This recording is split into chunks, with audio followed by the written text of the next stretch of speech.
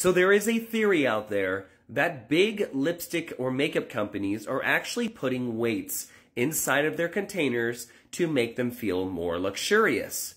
In this video, we're going to check to see if that's real or not.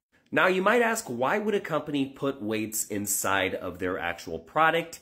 Why would they need to do that? So psychologically, when you lift up something that's heavier, you assume it's more sturdier built, and you assume you will pay more because of the quality build. However, if they're deceiving you with that, you're getting cheated, my friend. Now, today's experiment is brought to us by our friends over at Mary Kay. They're not the only ones doing this, but this is the only thing my wife would donate in the name of science.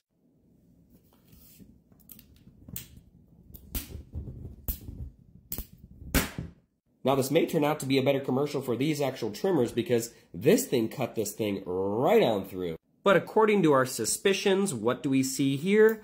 That, my friends, would be a weight in the bottom. So what we found out today was that indeed, makeup companies are faking the weight on a lot of their products. They're making them seem more luxurious and more well-built than they actually are, which fosters in higher prices. I, of course, would love to hear what you guys think in the comments below. I'll see you guys in the next video. Follow for more. Bye.